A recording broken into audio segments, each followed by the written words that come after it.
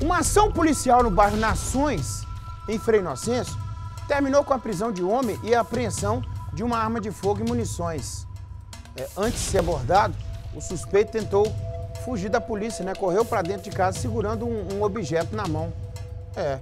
E quando os militares chegaram no imóvel, encontraram uma espingarda de fabricação grosseira, essa aí que aparece aí, né?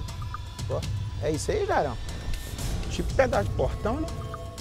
Que negócio esquisito, Jarão, lá em cima. Tem um trem de apertar o... o...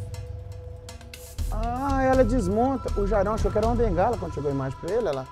Pô, ela desmonta, rapaz. Esses trem ali de parafusar, lá de rosca, trem esquisito.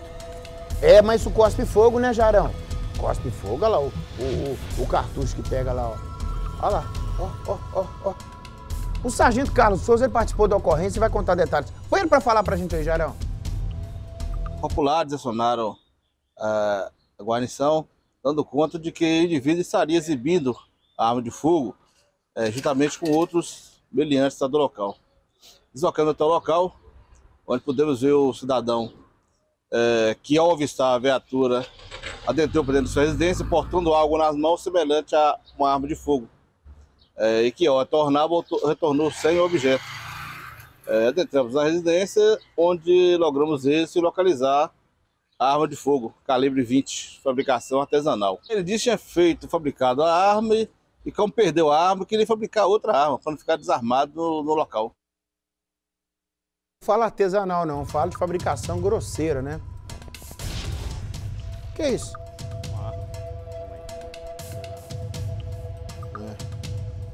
artesanal, não, de fabricação grosseira, né? Ah, espiar arma que eles fizeram.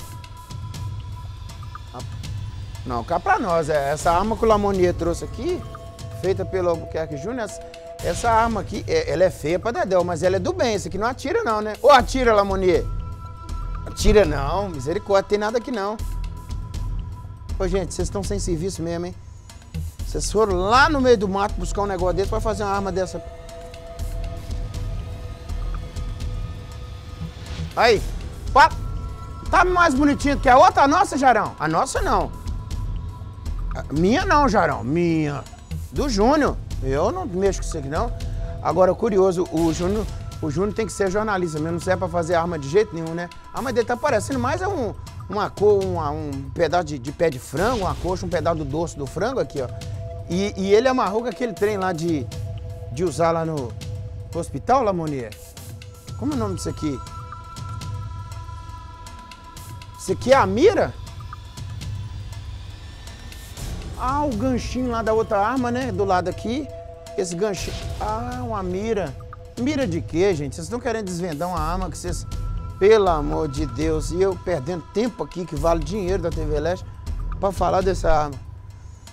Toma esse galho arma aqui, Lamonier. Passar bem com ele, viu? Eu vou desmontar isso aqui, porque nós somos do bem, tá? Vou mostrar pro povo de casa. Isso aqui é só um teatro, mequetréfico que o Júnior criou aqui. Isso aqui nós, nós não mexemos com mal pra ninguém não, né, Lamonier? Pode guardar lá pra mim. Olha lá, quebrou a arma do Lamonier. É. Se fosse um estilingue, daí, né? É.